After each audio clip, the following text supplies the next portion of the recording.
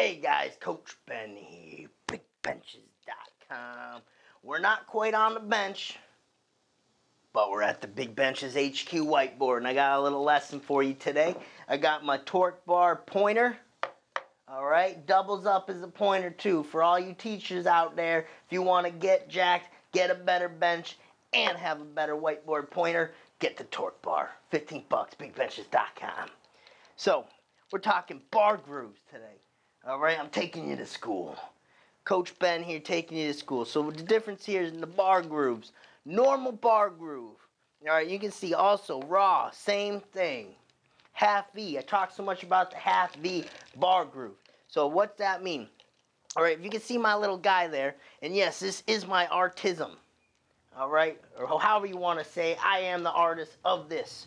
So you can see my stick figures here. He's touching low sternum, all right, now half V, he's going to press back over his shoulders. So that's what you want for a good bar groove, guys. That's You can see it, the normal raw bar groove, same thing, okay? Half V. So you can see it's not quite straight down descent, but you want to take that bar out. So if we come out here, right, he's taking that shoulders. He actually wants to start the bar out here. That's why it's so important to really drive the shoulders down with the bar, lock down the lats, as the bar is coming out because that's how you can get the bar out here. Then he doesn't have to travel down at an angle. All right, and this, yes, this is only for the first rep because I get that comment all the time. That is only for the first rep. But what are we doing in a competition? One rep. All right, so practice that single. The bar comes out, he comes straight down, lower sternum, throws it back over his shoulders. So I hope you all follow that. Wide grip benching. If you're doing wide grip benching to help build up your shoulder strength, your chest strength, very valuable exercise.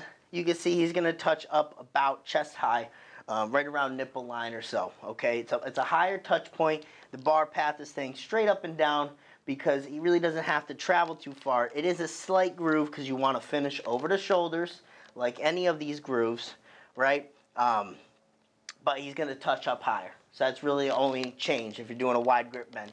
Close grip bench. This one's unique now. You see how low I have him touching here. This is almost belly button. All right, and that's a little bit of an exaggeration. Maybe my artism isn't so great.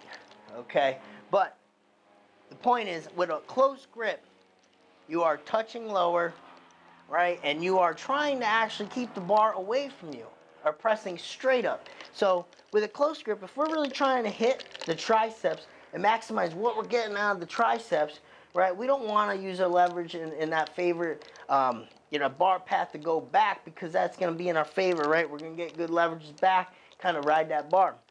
We want to put all the demands on our triceps, okay? So we're going to keep the bar low and we're going to try to press straight up. So we're actually um, probably not going to lock out that low, but you get the picture from my diagram here. We're staying low with that bar path, okay?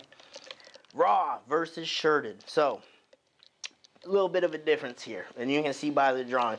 Raw, same as the normal, right? Half V, okay? So, if I was to finish the V, it would be like that. We just cut it in half.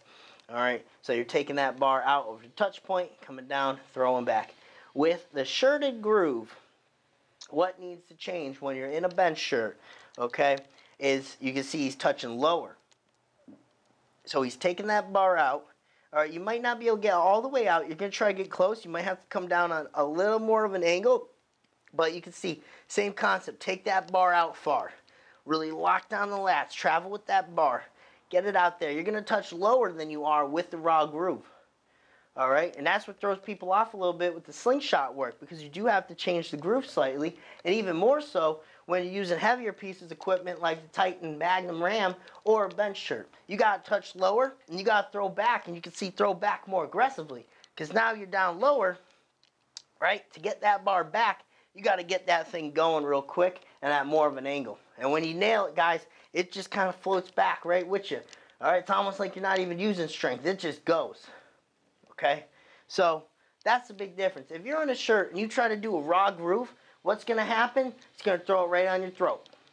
All right, if you're in a heavy slingshot, it's going to throw it right over your shoulders. You can grind through it. Not good. Okay, so you have to adopt the different groove. All right, raw versus shirted. more of an angle. Still a half V, it's just a wider V.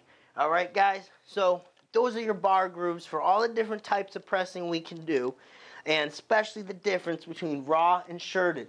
And by shirted, I also mean using a slingshot or a heavy piece of equipment such as the Titan Magnum Ram, okay, or those bench daddies. All right, there you have it. Coach Ben here at the whiteboard, taking you to school.